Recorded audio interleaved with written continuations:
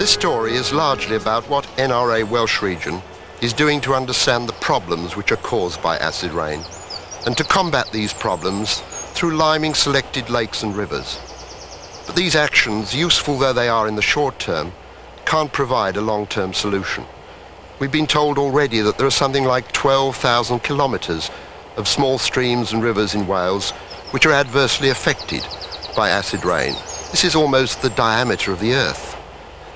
We have to adopt a land use policy to prevent afforestation with conifers, where this damages our acid vulnerable rivers and lakes. This needs government support. And we have to reduce yet further the acid emissions from chimneys and car exhausts which are caused by the burning of fossil fuels.